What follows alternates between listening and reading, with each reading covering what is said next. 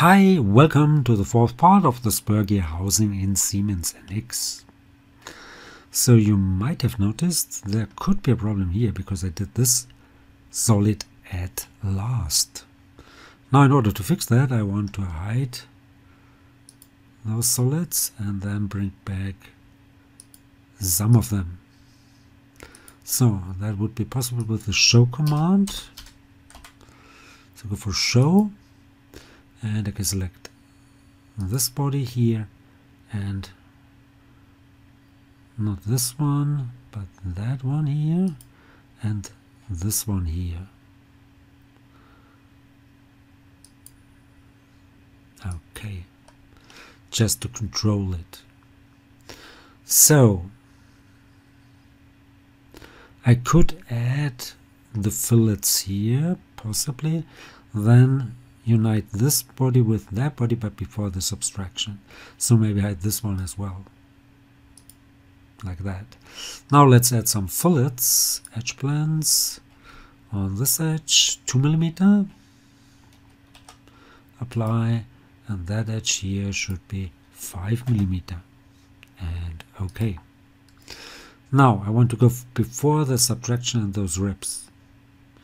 So that would be before this one here. Now I want to move all of these elements before that subtract. So let's select the extrude, those edge blends, right click and reorder before. So search for the subtract. The subtract would be here and confirm. Yeah and let's make this edge blend the current feature like that. So it looks like this. So it's not that's not subtracted. What I have to do now I have to unite this one with that one. And that would be easily done by yeah if I go for the extrude I should uh, unite the edge blend here that would be this body with that one here. So let's go for unite and select this one and select that one the complete one. And I don't want to keep the target I don't want to keep the tool and confirm. Looks like that. And then if I subtract this one from that one that should maybe work. So let's go for subtract make it the current feature Yes, this looks good. So I should go all way down and that's great. I will have to fix this problem in all the other programs except for AutoCAD because in AutoCAD I did it in a different way already. So at the top of that spur housing is sort of a handle. Now I want to do that handle. So let's hide those solids here and bring back the one I need and that let's go for show. And I want to use this solid here that one. And confirm. Next sketch on the right plane. So go for a sketch on the right plane here and confirm. And now I want to bring in some of those faces this one that one and this one with an intersection curve. So go for intersection curve. Use single face and I want to bring in this face that face and this one. And it would be nice I could join the curves but it would be nice to make it yeah just for construction not possible so let's go for OK and select it and make it for construction purposes only. Nope. Happens yeah like that. Now I will need a circle with diameter 700 and then another one with diameter 690 now let's go for a circle. Let's draw it over here. make sure it don't snap onto something. So that would be 700 and right here in the middle should be another one with 600 right there. So let's go for 600 and put it right there. And okay not 600 by 690 sorry. My fault. This should be 690 so let's hope I can select it 690 okay. That's more like it. Now that center point should be on that axis here. And let's move it down a little bit this should be tangent to that plane here. So let's bring in that plane with include. So this one here. So go for include select it and confirm like that. And now this circle and that line should be tangent. Great. So the limitation of those arcs are made by circles. So go for a circle and diameter should be 14 another one over here and this should be 14 as well. Let's just confirm that here. Okay. Now both should be for construction only. This one here that one here and this circle should be tangent to this circle and that arc.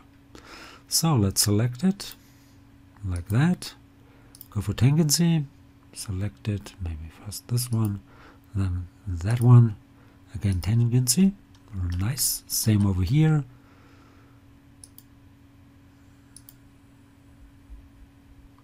Tangency and another tangency up there now I could trim this one here.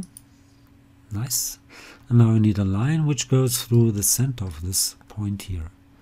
So let's go for a line and make sure yeah sorry. It should start right here like this and then should go up there. And of course that center point here should be here on that line as well. Yes let's go for it. And now I can trim here as well so go for the trim. Not yet. I will have to do the same on the other side. I could mirror this. Uh, yeah let's draw another line from this point here up there. Don't snap kind of hard to do. So let's press our alt key put it maybe here and now put this point here again on that line. Okay? And now I can trim. So go for the trim. I want to trim this here this here that one. And of course this one that one this one and that one here. Okay. So it's not completely defined but it would work. So maybe I could add an angle and a symmetry. Maybe I go for a symmetry so let's make it symmet symmetrical. So this one here this one and that one should be symmetric to this one here. And maybe I lost the concentricity as well. That happens. Let's take a look. If I move this, can I move that? Not really. So what's missing? Did I lose the... No. Dimensions here. So that should not be possible to move. Oh yeah. That's problem. I lost that constraint. So and this should be of course trimmed as well. So let's trim this kind kind of uh, very time consuming okay and now put that center here again on that line. Okay and that did the trick over here and same over there. Don't miss this one here so trim that one. And then put that center point here. It's symmetric. That should should be yeah it's fully defined of course. Now leave that sketch now I want to make an extrude. Symmetric 5 millimeter to both sides so it's 10 altogether. So let's go for an extrude with that sketch. Yes. And I could let's check it out. I could unite it with that solid. Yeah. So it should be symmetric. It should be 5 millimeter to both sides and then go for unite and unite it with this solid here and confirm. Yes, looks great. And now I want to add, I could have done this before, maybe I should have done this before, but I want to use a neutral face and the neutral face would be maybe this here and add a draft. Let's see if it works. So that extrude is too small, this should be 10 millimeters. So let's edit this one, this should be 10 millimeters, symmetric, confirm. Now we will need two edge blends, 7 millimeter, on this edge here and on the other side as well.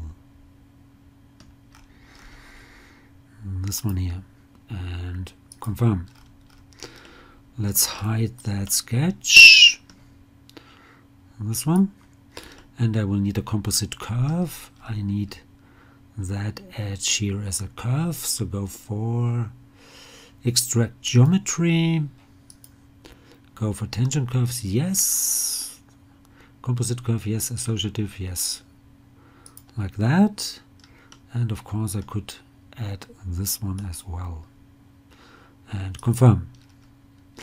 Then I will need a sketch on the right plane I suppose. So go for another sketch. No it's the front plane sorry. Yeah. And confirm. And I will need the intersection point of the composite curve, which is now on this side, I suppose. Yeah, with the sketch plane, go for intersection point, confirm, and then I will need sort of a triangle at this intersection point. So go for profile, let's draw it like that maybe. Okay, so I need not really a triangle like that. So I need just that angle over here. And let's make it yeah. Let's go for this one here. If I go for this one and add no. So this axis and that that angle here should be 10 degrees okay. And this could be much higher. That's not fully defined but that's okay. Now this has to move along that curve here so that would be a sort of a swept. So let's see. Go for surface. Let's go for swept. We do have similar commands where would be a sweep along guide, a variational sweep that should do it as well, sweep along guide.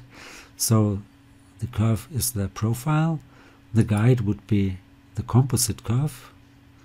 That would be this curve here. And I want to go for a solid, cannot knit lateral faces to sheet body. I don't want a sheet body. Oh, there are offsets. I don't need offsets. So go for zero. That's from the last. That's interesting. Because I cannot put it anywhere on the curve. Not possible with this one. So let's cancel this out and go for a swept. So the profile would be this one here. And the guide curve would be that composite curve as before. Now, the section location is anywhere along guide, that's okay. Orientation is fixed. That might be wrong. So let's see, can we go to face normals? Can we go to vector direction? Fixed, is that okay? I suppose that's okay. No scaling, it should be constant. Yes, let's go for okay. Then I could mirror that one, so go for mirror geometry. Mirror geometry, okay, this one here the plane would be of course the